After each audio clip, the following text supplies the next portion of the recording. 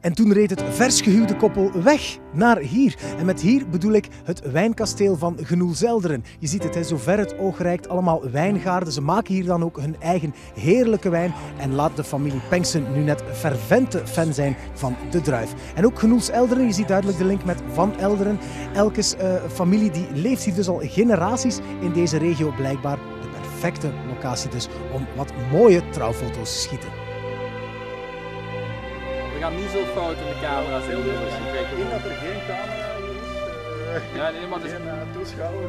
maar ik bedoel, we kijken niet naar u, wij doen, uh, wij doen zo, wij, wij staren in de verte zo, af naar elkaar. Hè? Fashion, een beetje fashion.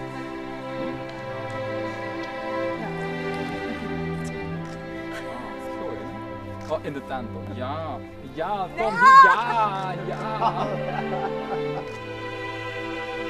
echt praktisch, hè? Yeah! niet doen, hè? Maar nee, ik kan- ik ik is- wel. Maar hè? Als, als, als, als, als baan is wel... Hey! Ja, maar je moet een beetje zo nu strekken, dat is niet natuurlijk. Ja! Shit man, kostuum is scheur. Stop, stop.